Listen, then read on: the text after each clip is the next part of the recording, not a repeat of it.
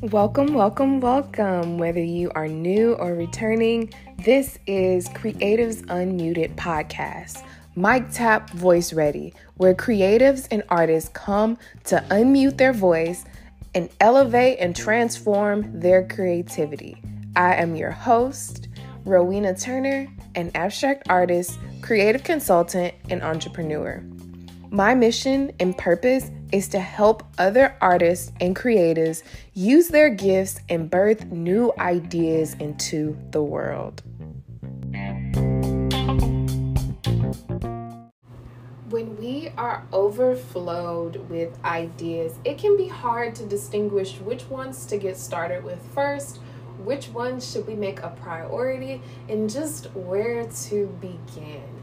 This message is for people that have too many ideas and don't know how to organize and begin to execute. So, today I want to talk about two main tips that I incorporate when I have too many ideas and I just have a lot going on, and how I began to siphon through and manage through the hustle and bustle of the everyday life as a creative. And what I'm about to say next may seem simple, but don't overcomplicate it. That's where you begin to get confused and get stressed out, and it just starts to bubble over. And it's actually really three tips instead of uh, two, but you begin to understand when you break down your task and ideas into steps, which I'm getting into the first um, tip, will allow you to organize your thoughts a lot better and find structure. So, the first tip you want to do is dump all of your ideas that you have into a journal, a book, a notebook, or your sketchbook, or somewhere where you can go back and look on the ideas that you have created for yourself on a regular basis. Um, you want to be able to reference this whenever you have an idea or just make space to add on to other ideas. This will often help you go back to the drawing board, but start from experience. Start from what you already have so you're not fishing for something new every time because that is really a part of the cycle that leads to burnout. When you feel so overwhelmed or you feel like you're reaching or grasping for straws when you can't find what you're actually looking for.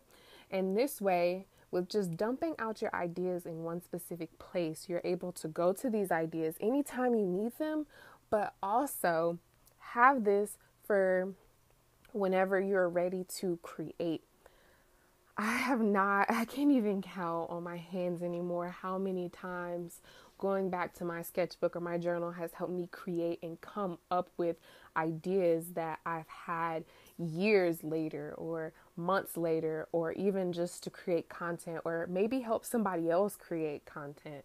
So just begin by dumping all of your ideas. The second tip is actually organizing these into different categories. So I will use I'll use myself as an example. So I am an abstract artist and I paint a lot even though I use different mediums. Um, painting is really my favorite one next to poetry. Don't forget about poetry, but uh, I, I tend to break down my ideas into sections when it comes to painting and also creating content. So, for this podcast specifically, I wanted to talk about organization in a way that aligns with artist block but comes from a different perspective.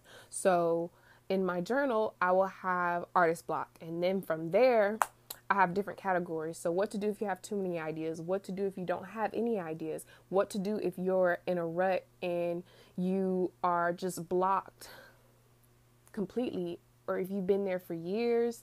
What do you do if it's just procrastination? What do you do? What do you do? And then, you know, um, I said, what do you do twice? So, but like, what do you do if you're limited on your supplies? What do you do if you have so many supplies? How do you manage your supplies when you're in artist block?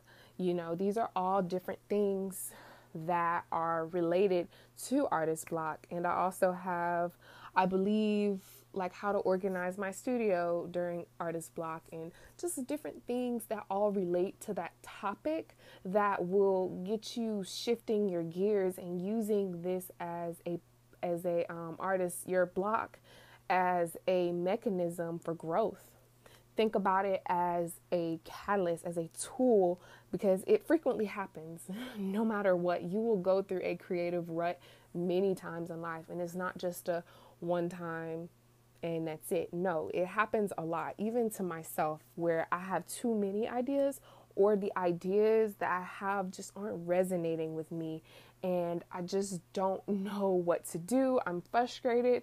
Um, you know, I began to just do different things and feel like I need to overwhelm my plate instead of, you know, just having my mindful time to relax and began to incorporate different activities or just sit down and just write out what's going on with myself. So, having that time to brain dump some of my ideas and then go back to the drawing board and then organize those ideas into different categories is really something that'll help you in the long run just to get started.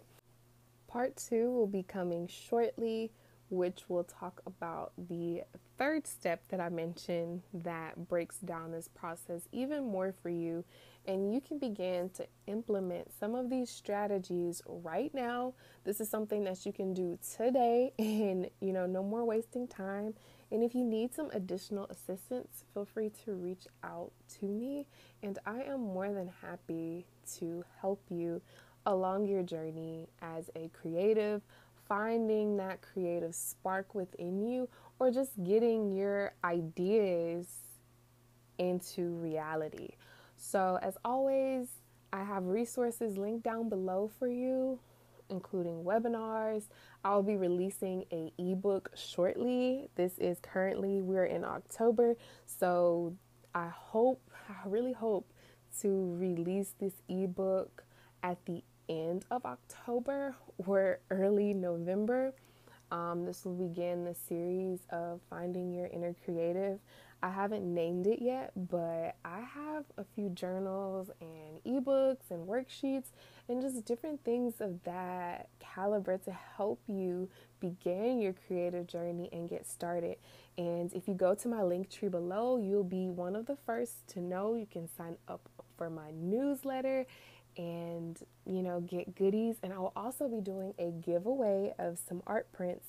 So stay tuned for that.